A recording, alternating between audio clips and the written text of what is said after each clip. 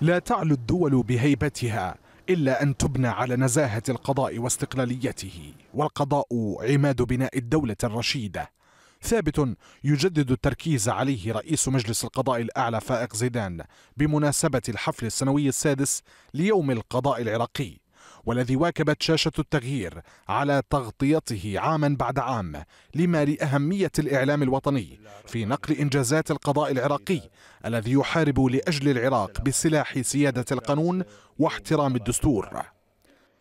اليوم الذي نجح فيه قضاة العراق في نيل مطلبهم بتحقيق الاستقلال التام الذي يعد الهدف الأسمى لجميع القضاة في العالم. ويحفر في الذاكرة يوم القضاء العراقي بعد استحقاق الاستقلال الذي نادى له قضاة العراق ترسيخا لأهمية القضاء المستقل الذي يعتبر معيار تقدم الأمم.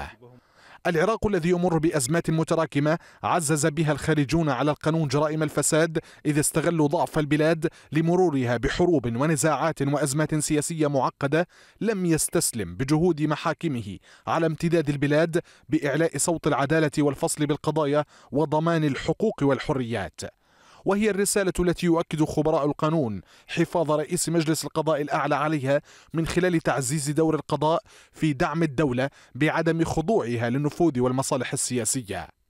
رئيس مجلس القضاء الأعلى جدد التأكيد على أهمية استقلال القضاء في حيادية القرارات القضائية التي تصدر عن مجلسه. وفق الإعلان العالمي لحقوق الإنسان الذي أوجب جميع المؤسسات الحكومية وغيرها احترام ومراعاة السلطة القضائية وعدم إقحامها في أي تدخلات سياسية أو التدخل في إجراءاتها القضائية.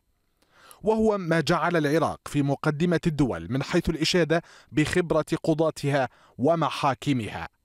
وعرج رئيس مجلس القضاء الأعلى على دور الإعلام الوطني في نشر الوعي القانوني وقناة التغيير الفضائية التي تضع أهمية دور السلطة القضائية ضمن نهجها التحريري لإيمانها بأن نجاح الدولة لا يكون بمنأى عن القضاء بل بالارتكاز عليه لما فيه مصلحة للوطن والمواطن العراقي أو كما يسعى له القضاء الأعلى بتطبيق شعار القضاء في خدمة المواطن.